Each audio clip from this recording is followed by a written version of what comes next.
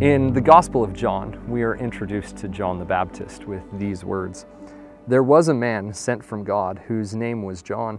The same came for a witness, to bear witness of the light, that all men through him might believe. This promise that John was preaching to all men may seem confusing to some who recognize that in the other Gospels, John's primary location of preaching was this desert here in Judea.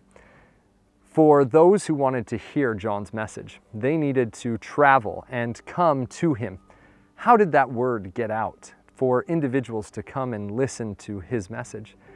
As I think on that question, I can't help but wonder in my own life, do I give enough light and truth to others that they want to come to ask questions of my own witness of the Savior, Jesus Christ?